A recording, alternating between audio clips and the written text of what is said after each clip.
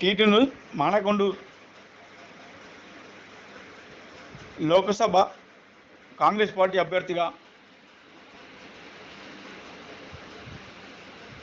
పొన్నం ప్రభాకర్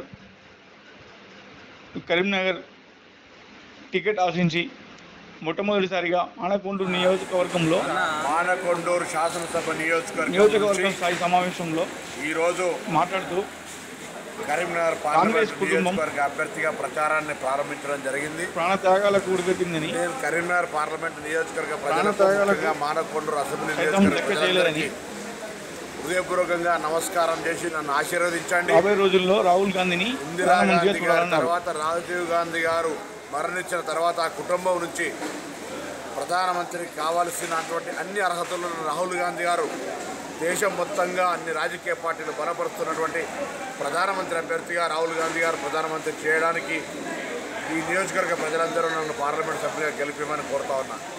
ఈ ఎన్నిక ముఖ్యమంత్రి కొరకు జరుగుతున్న ఎన్నిక కాదు. చంద్రశేఖరరావుకు ఈ ఎన్నికకు సంబంధం లేదు. ఈ మాట నేననడంలే. చంద్రశేఖరరావు గారే స్వయంగా అసెంబ్లీ పార్లమెంట్ ఎన్నికలు వే కేసీఆర్ గారే స్వయంగా పార్లమెంటు శాసనసభలు వేరువేరుగా జరిపి పార్లమెంటుకు మాకు సంబంధం లేదని చెప్పుకున్నటువంటి వ్యక్తిగా. ఇవాళ ఇది ముఖ్యమంత్రి కొరకు జరుగుతున్న ఎన్నిక కాదు. రేపు పార్లమెంటు సభ్యులు గెలవడం ద్వారా కేసీఆర్ ప్రభుత్వానికి వచ్చే ముప్పు లేదు.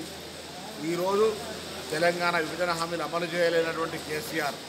ఇప్పుడు కూడా పదిహేను మంది ఎంపీలుండి తెలంగాణకు అన్యాయం జరిగితే బీజేపీతో స్నేహం చేస్తూ అన్యాయాన్ని ప్రశ్నించలేని గొంతుగా ఉన్నటువంటి ఈ టీఆర్ఎస్ ఎంపీలు ప్రజలకు ముందుగా క్షమాపణ చెప్పి ఈ ఐదు సంవత్సరాల్లో ఏం సాధించినారో చెప్పమని డిమాండ్ చేస్తాం అంతేకాదు రేపు పొద్దున వాళ్ళు కేసీఆర్ గారు కేటీఆర్ గారు చెప్తున్నట్టుగా కారు సారు పదహారు అంటా ఉన్నారు. మేమంటా ఉన్నాం కారు కేసీఆర్ ఢిల్లీలో బేకార్ అని ప్రజలు అంటుండ్రు. నువ్వు ఢిల్లీకి పోయి ఏం లాభంలే అంబాసిడర్ల కార్లు ఢిల్లీకి పోవడానికి ఓడు కూడా జ్ఞానం ఉన్నాడు ప్రయత్నం చేయడు.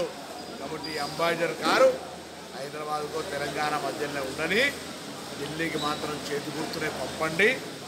ఈ ఢిల్లీలో ఒకవేళ కారు పోయినా అది పోయేవరకు పువ్వుగా మారిపోతుంది కాబట్టి దాన్ని దయచేసి అర్థం చేసుకొని ఈ ఎన్నికల కాంగ్రెస్ పార్టీని గెలిపించమని స్థానిక అభ్యర్థిని నేను ఈ జిల్లా ప్రజలకు వినోద్ కుమార్ అంటే తెలియదు రేపొద్దున వినోద్ కుమార్ ఓడిపోతుండ్రు. ఓడిపోయిన తర్వాత ముఖ్యమంత్రికి రాజకీయ సలహాదారులు అర్హతలు అన్నీ కలిగినటువంటి వ్యక్తి ఆయనే. ముఖ్యమంత్రికి సలహాదారుగా మారుతాడు.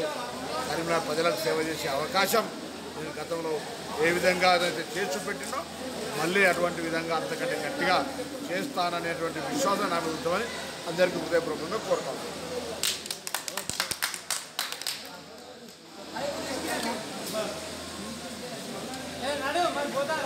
అయిపోయింది.